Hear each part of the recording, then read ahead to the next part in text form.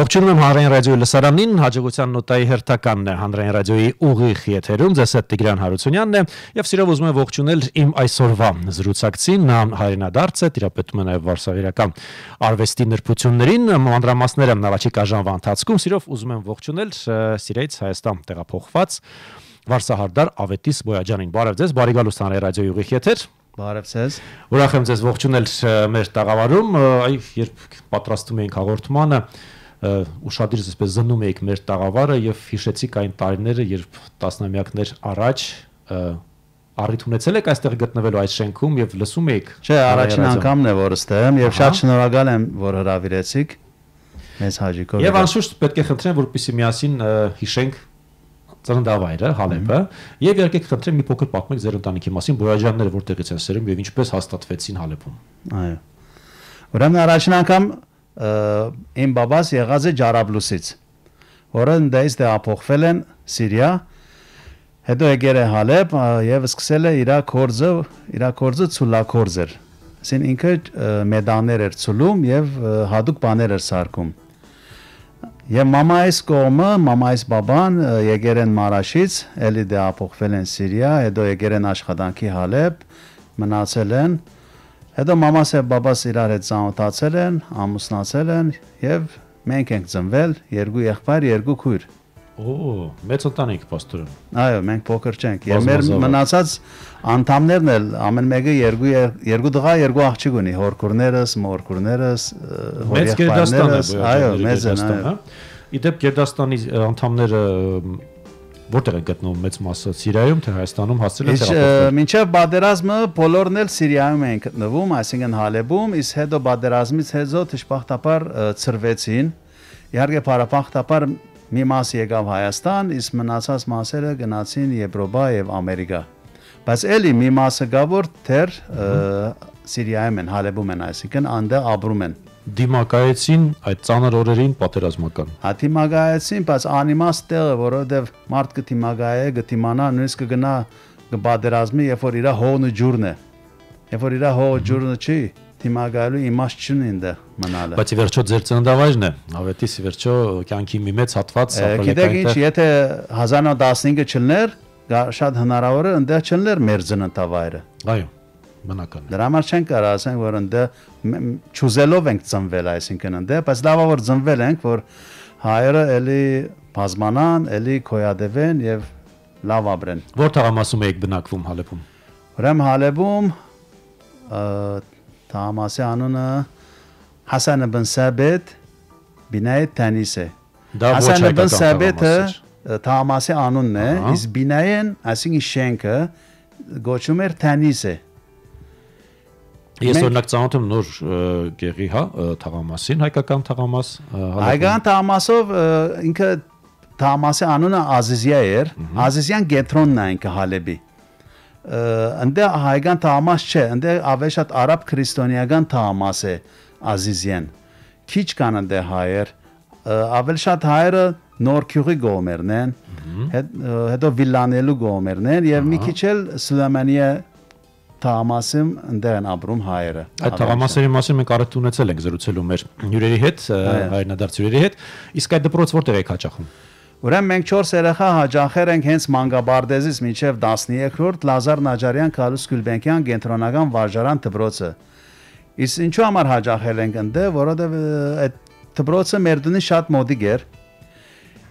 Դրա համար 4-ով ընդեղ էինք հաճախել եւ շատ լավ շատ մագարտակով ինքը դբրոց էր ամբողջությամբ հայ էին գային մի քանի հոգի արաբ մուսուլմաններ այնուամենայնիվ մանկությունից պահպանված ամենավառ հուշը որ մշտապես դες է ինչ կհիշեք դպրոցական օրերից տարիներից վառ հուշը դպրոցական օրերը որ հիշեմ ես ճիշտ ասեմ զույլ էի դպրոցում ես չէի սիրել դպրոցը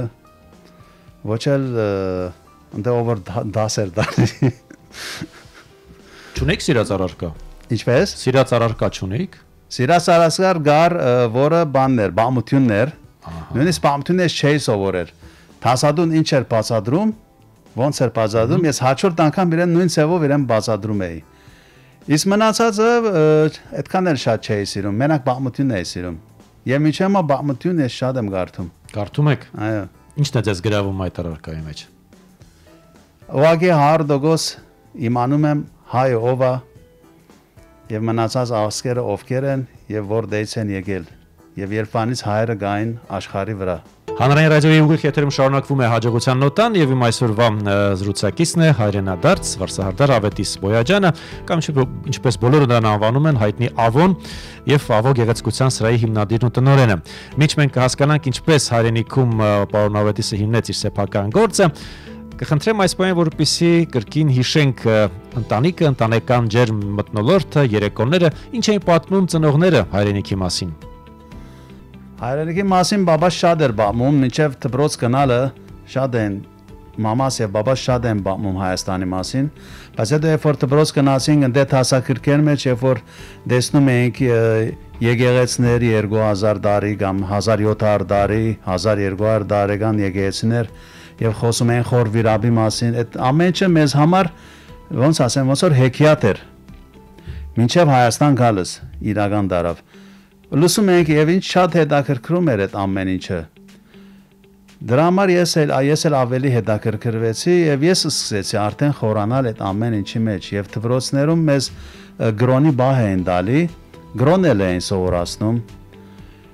իսկ դունը մամաս ամեն օր մեզ աստվածաշունչներ գարթում յետել էինք լսում շատ լավ բան շատ լիքը բաներ սովորեցի Դենց դան մեջը էլի հայերեն են խոսում միայն եւ միայն, բայց ոչ մի խանգարող բան չի գար, ասին ոչ բաբաս էր ասում, չէ, մենակ հայերեն պիտի խոսակ կամ ոչ էլ մամաս։ Չէ, հայերեն են խոսում եւ վերջ։ Իստիվիով երբ որ հայերեն Հայաստանի մասին մի բան էր ասում, մի անգամից ամեն ինչը թողնում ենք եւ նստում նայում ենք, որ ինչ պիտի ասի Հայաստանի մասին եւ ինչ ցույց պիտի դա Հայաստանից։ Եվ մենք մեջ հաջիկով նայում ենք եւ ինչ շատ հետաքրքիր էր այդ ամեն ինչը։ Դա արդեն 2000-ականներն էր, երբ կապը Ալբանիական կապը հայտնվեց հերոստատը, հերոստատեսային, այո։ Երբ սկսեցիք նայել հայկական ալիքները սիրել։ Ոչ, դրանից շուտել լինում էր որ մեր մեր մոտ ցույց տալվից էր այդ Հայաստանը, Հայաստանի փողոցները, այո։ Չէ, հեչ կապ չուներ։ Այս որ ասում եմ ես տեսագրված ֆիլմերի հաղորդումների մասին էր։ Այո, այս որ ասում եմ ես բադանի էի եւ նույնիսկ փոքր էի։ Նայեցեք ինչքան ժամանակ անցավ։ Շատ լավ, դպրոցն ավարտելուց հետո սկսեցիք բնականաբար արդեն մտածել թե ինչպես եք շարունակելու ձեր ճանապարհը։ Շատերը ծնողների ուղիով են ընթանում, դուք ինչ մտքեր ունեիք եւ ինչպես եք պատրաստվում շարունակել ճանապարհը։ Որովհետեւ քանի որ ես դպրոցում հաջող մեկը չէի, չէի սովորում, չէի սիրում սովորել, դասերը իհարկե։ Ես որոշեցի, որ լինեմ Վարշավիր։ Նախասկիզբը գնում էի բաբայս կորզարանը, որը ցուլակորզությամբ էր սպավում։ Այդ կորսն էր սիրեցի, բայց բաբաս ասաց, չէ, ավելավ է արի դու մի հատ ուրիշ կորզ արա, որովհետև եղբայրդ մեկը աստեղ է։ Դու էլ աստեղ շատ կլինի երեք հոգի ու պլյուս աշխատանք։ Ինչու՞ ընտանեկան բիզնեսը կզարգացնեիք։ Լավա որ դենս եղավ, որ բաբաս ինչ տոնեց այդ կորզի մեջ, հագարակ բարակային որ սիրում էի, ինքը շատ զանր կորզ էր, բայց շատ արդյունաբեր կորզ էր եւ բաբաս շատ բաներ արդատրեց արաբական երկրների մեջ, որ իրանք նույնիսկ չգիտեին Դրա համար բաբա շատ մեծ հաջողությունների հասավ այդ արաբական երկրների մեջ։ Ի հետո ես որոշեցի որ Վարշավիլ լինեմ։ Ինչու հենց Վարշավիլ, այդ արքիր է։ Վարշավիր ներկայից էր գտած։ Որտե մի հոգի ընկեր ունեի, իր բաբան Վարշավիր էր եւ ինքն էլ գնում էր իր բաբայի մոտ ամառները սովորում էր իր կորզը։ Ես էլ ամառներն էի գնում բաբայիս մոտ։ Այդ 3 ամիսը մենք շատ քիչ եղել է որ փողոցներում խաղացել ենք։ Գնացել ենք բաբայի հետ կորզի։ Դրա համար սիրում էի այդ կորզը։ Բայց ինչու Վարշավին, որովհետև մի ընկեր ունեի, որ ինքը իմ տասարանցից էր եւ իր բաբան Վարշավիր էր, Վարշավիրանոց էր ուներ Հալեբում, էլի Ազիզիայում։ Ասի ես ուզում եմ Վարշավիլ լինեմ։ Ասես հա, եղե, շատ լավ է։ Արի մի մի քիչ փորձ է, կարող է չհավանես, կարող է հավանես։ Եվ ես փորձեցի, շատ հավանեցի։ Հետարքիր է, ամփորձ մարդու համար առաջին անգամ, երբ ձերքդ վերցնում ես մկրատը, եւ հա պետք է փորձես անարված ստանալ ճանալով համապատասխան գիտելիքներ եւ փորձառություն, ինչ եք զգում։ Ուրեմն չէ, որ ասում են մի անգամից վերցնում ես մկրատը, նույնիսկ մկրատն էլ չէ, խոզանակն էլ չեն տալի քեզ։ Նա առաջին 3 ամիսը մենակ նայում ես, առաջին 3 ամիսը մենակ նայում ես, էսի բեր, էսի դար, էսի բռնի էսի Իսկ այն նայելով հնարավոր է սովորել վարսավերություն։ 3 ամիս հետո քեզ գասեն հիմա քլուխ ես լվանալու, այսին մազ ես լվանալու։ Եվ դու մասաժով եւ շատ զգուշ պետք է լվաս հաջախորդին մազերը։ Դրանից հետո գասեն չորացուր, դրանից հետո գասեն ֆենի։ Ու դες ամենավերջում, այսին 1.5 տարի հետո գասեն գդրի։Ահենցն է չի։ Ստե որ 3 ամսից գնում սովորում են եւ դառնում են Վարշավիր, ես շատ զարմանում եմ։ Եվ դրա համար էլ դի անհաջողություն է բերում իրանց։ Եվ կարծում եմ որ այդ անհաջողությունը երկրի հետ է կապված։ Որպես արդեն կայացած վարսահարդեր, այ ձեր գործում ի՞նչն է կարևոր, ամենակարևորը այսպես 3 սկզբունքները։ Ամենակարևոր որ հաջախորդին չխապել, Լավ։ երկրորդը հաջախորդին հարկել, եթե արժանի է։ Իսկ երրորդը մաքսիմում մեկը հասցնե իր կորձը 100%-ի, 100%-ի չհասնի, բայց կոնե 99%-ի հասցնի։ Իսկ եթե հաճախորդը կամակոր է եւ ինչ անում ես, միևնույնն է չես կարողանում գոհացնել դրան, ինչ անել այդ ժամանակ։ Դենց բան բարեբախտաբար հələ որ չի եղել։ Իմ հետ չի եղել։ Այս 21 տարվա մեջ եւ ավելի, ես 15 14 16 տարեկանից ես Վարշավայում գնացել սովորել եմ։ Էդեր չի հանդիպել դենց բան, որ քո չի ելնի։ Ամենակարևոր բանն է, որ մարդուն հանել քո մոդիցդ ուրախ եւ ինքը երդասարցած։ Այդ ամենակարևոր բանն է։ Ավետիս, այ պետք է լսել հաճախորդի ցանկությունները, թե լսել, բայց միևնույնն է անել այնպես, ինչպես դուք եք ցանկանում։ Ոնց եք։ Անպայման պետք է լսել հաջախորդի ցանկությունը, որ իմանաս, որ ինքը ինչ ճաշակի մարդ է։ Հետո քո խորհուրդները տաս։ Եթե գասի չէ իմ ուզածը արա, իմ ուզ իրա ուզածը որ իրան պիտի չի վայելե, դու գասես այո, բայց կանես եւ իրա ուզածը եւ քո ուզածը մի հատ խառնես իրար շատ հետաքրքիր բան դուրս կգա եւ ինքը գասի, ահա, էս էր իմ ուզածը։ Միջատ էդի չէր իրա ուզածը։ Իրա ուզածը որ ինքը սիրուն դուրս կարնդես եւ կուկա, այդքան բան։ Սկսեցիք աշխատել որպես վարսավիր Հալեբում, սկսեցիք գումար վաստակել, իսկ այ բիզնեսի տեսանկյունից շահութաբեր էր Հալեբում լինել վարսահարդար։ Ուրեմն ես երբ որ ը, բանակս ավարտեցի Սիրիայում, բաբաս ինձ Վարշավերանոց բացեց։ Հենց նոր քյուղում, որտեղ որ հայերը մեծամասնությունը ընդեր են, այո։ Ուրեմն դա աշխատեցի երկու տարի։ Իհարկե, այնտեղ ինչ որ մեկը աշխատի, ուզում է Վարշավի լինի, ուզում է բժիշկ լինի, ուզում է ավտոյի կորզանի, ինքը կաշխատի, ինչու համար, որովհետև Հալեբի մենակ բնակչությունը 4 միլիոն մարդ կա այնտեղ։ Շուկան մեծ է։ Շուգան մեզ է, դուք ինչ էլ անեք, ճաշակով էլ լինեք, անճաշակ էլ լինեք, վատ լավ էլ արդատրեք, անորակ էլ արդատրեք, առնողը գա։ Դրա համար փողը բարձ է, ավելի շատ էր։ Հաճախորդի պակաս չի լինում։ Չէ, չէ, չի լինում ընդ հագարակը։ Անդընթաց շատանում է։ Բայց փողը չէ ամեն ինչը։ Փողը չէ որ գորոշե որ դու բիդապրիս ընդեղ կամ ոչ։ Իմ գարձիկն է դա։ Հանրային ռադիոյի ուղիղ եթերում շարունակվում է հաջողության նոտան եւ մենք շարունակում ենք ներկայացնել եւս մեկ լուսավոր պատմություն հայրենադարձության։ Լուսավոր պատմություն, որի այսօրվա հերոսն է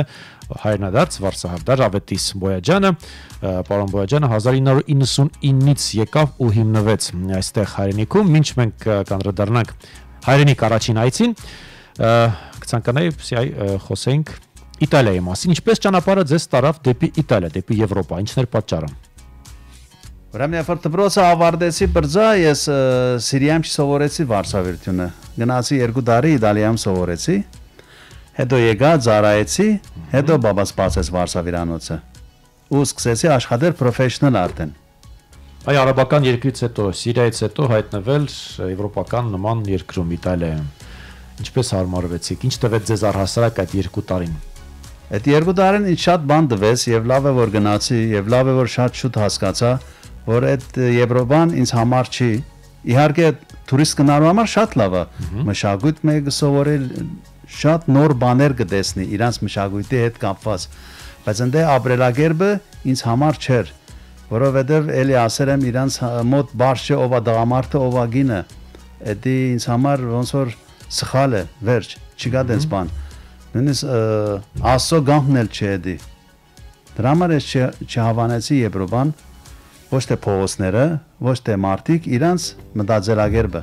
Եվ եթոյեցի եկա Սիրիա, ծառայեցի, Բարսելոնաց բացի եւ սեցի պրոֆեսիոնալ աշխատել։ Տեսեք, այ շատ մեր սփյուռքահայ բարեկամներ այնուամենայնիվ ընտրեցին այդ ճանապարհը, դեպի Եվրոպա տեղափոխվեցին եւ այնտեղ շարունակեցին իրենց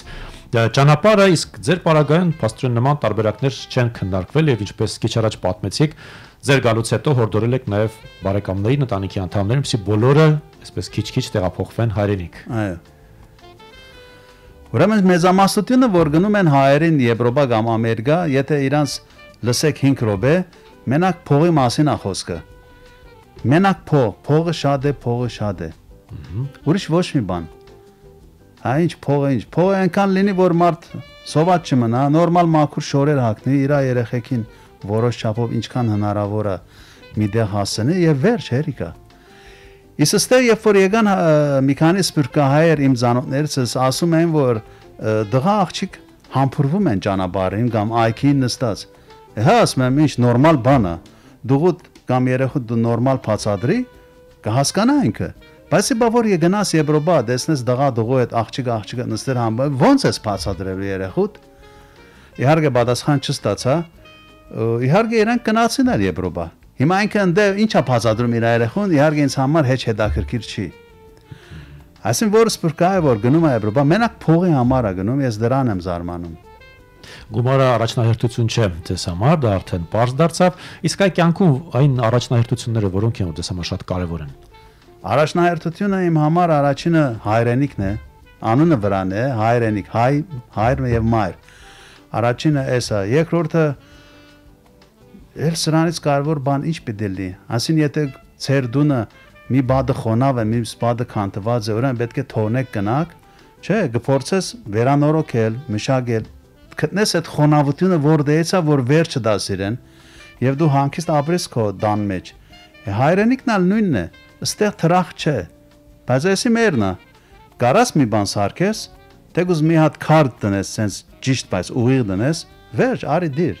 Այստեղ ցանկության խնդիրն է, տեսեք, այս շատ ու շատ մեր քույրեր եղբայրներ տեսնելով որ տունը հին է ինչ որտեղ, ճակեր կան եւ վերանորոգման կարիք ունի, ասացին, չէ, այդ տունը հին է, ես այնտեղ չեմ գնա ապրեմ, ավելավ է գնամ այնտեղ, որտեղ որ տունը արտակինից շատ գեղեցիկ ներկված է եւ վերանորոգված է։ Այդպես ճանապարհը շեղեցին եւ գնացին մեկ այլ երկիր։ Տեսեք, բայց դուք այդ առումով չվախեցաք գալու եւ սեփական ձեռքերով տունը նորոգելու եւ այստեղ ապրելու, այդ դժվարությունները քաշելու։ Սա շատ կարեւոր գիտակցում է։ Հա, իհարկե։ Այդ պետք է մատ գիտակցի։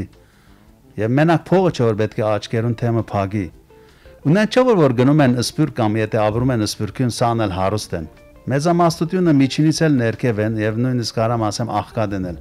Շատ քիչերն են որ իսկական հարուստ են փողով։ Դե մի տարբերություն, որ ինչպես դուք նշեցիք, շուկայի խնդիր չի եղել հաճախորդների եւ ցանկացած գործ հիմնելիս մտավախությունը քիչ է որ, հա, գուցեև կտուժես կամ բիզնեսը չի հաջողի։ Ուրեմն նայեցեք Հայաստանում էր եթե լինի հայերու քանակը 5 միլիոն հայ, Ստեղ տաքսի շոֆերն էլ օրը 100.000 գերեվի չի հավաներ։ Ես օրինակ եմ բերում տաքսի շոֆերը։ Դրա համար քանակի հետ է կապված։ Մարդու քանակ, որ եղա մի երկրի մեջ, մի քաղաքի մեջ, վեճ ընդ բիզնեսի խնդիր չի լինի արդեն։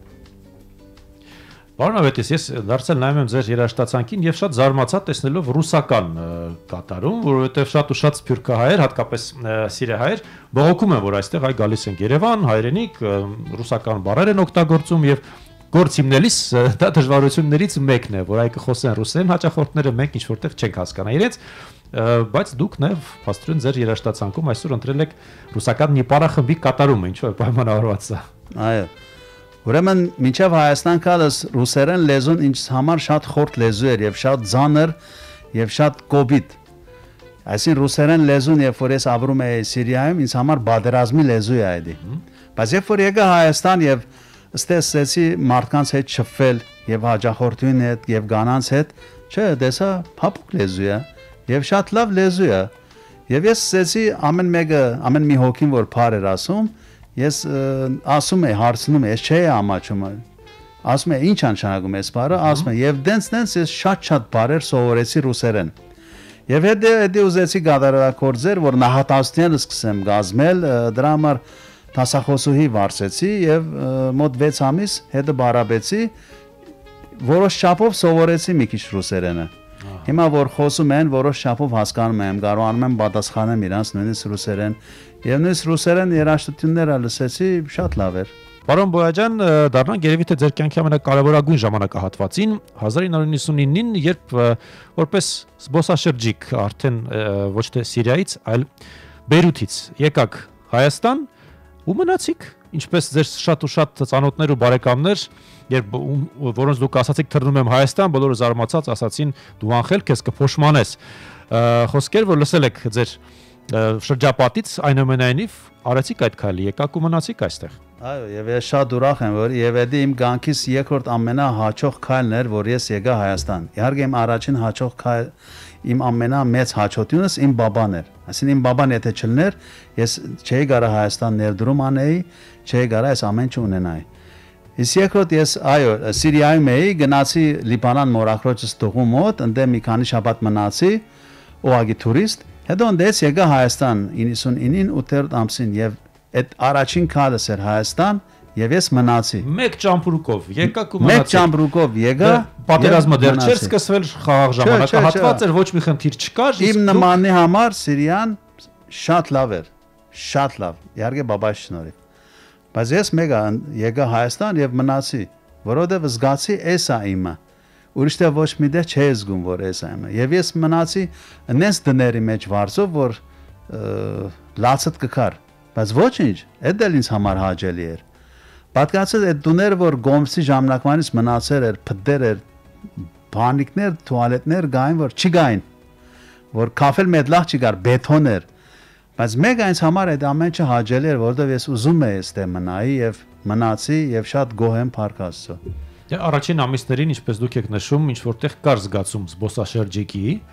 Առաջին երկու ամիսը այո, զբոսաշրջիկ եկնացի դարբեր դեղեր, շատ քեղեցիկ էր ամեն ինչ։ Հետո որ եկա, արդեն պետք է աշխատեի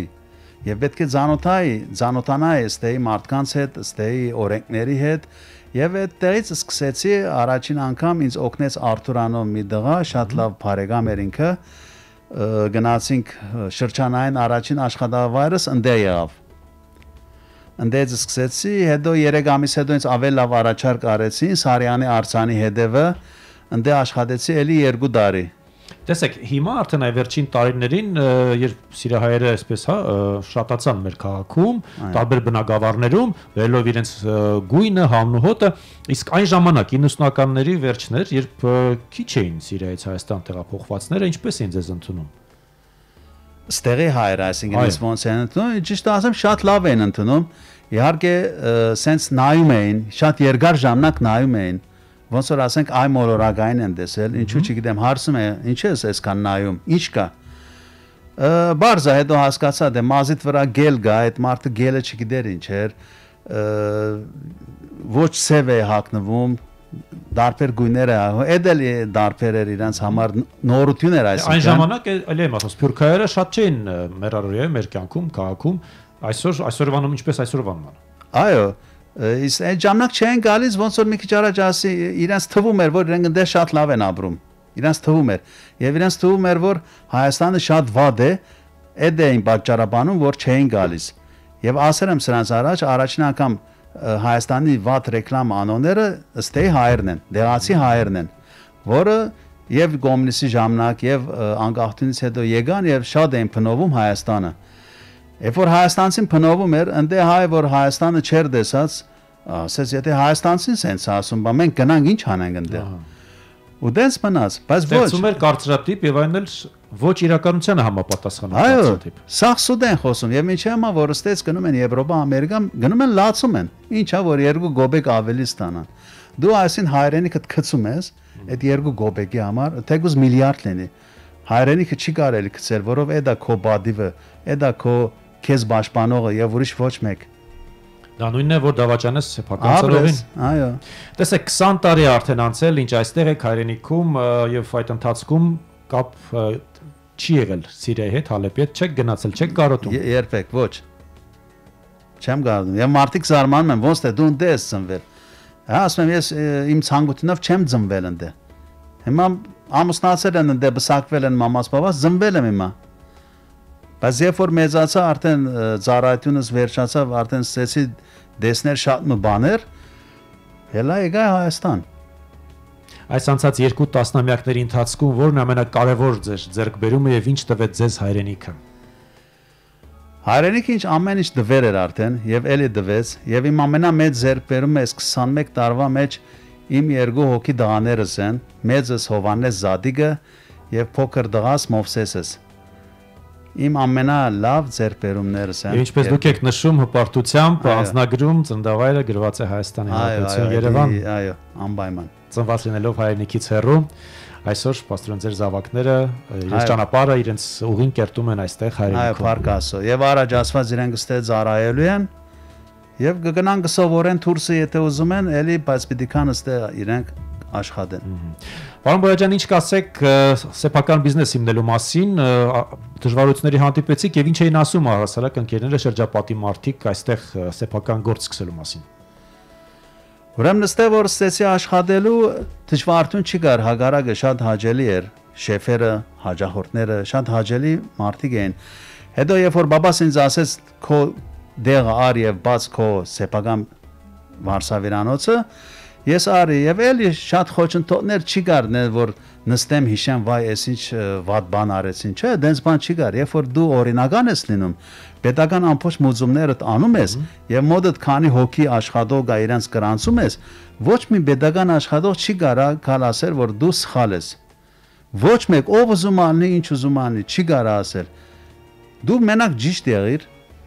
մնացածը քեզ չեն կարա ասել, որ դու սխալ ես։ Եվ ստե ես լավ աշխատեցի, լիքը շատ լավ հաջախորդներ ունեմ եւ մինչեւ մա պատկանցը 20 տարի իրանց երեխեքը մեծացան, թե իրանք իմ մոդ են գալի։ Բայց դի հաճողություն չի, բայց դա ամենահաճելի բանն է։ Բայ իհարկե, գարամ նենց հայտնի մարդկանց անունները դան, բայց իհարկե պետք չի գադալու։ Իրանք գիտեն հիմա եթե լսում են։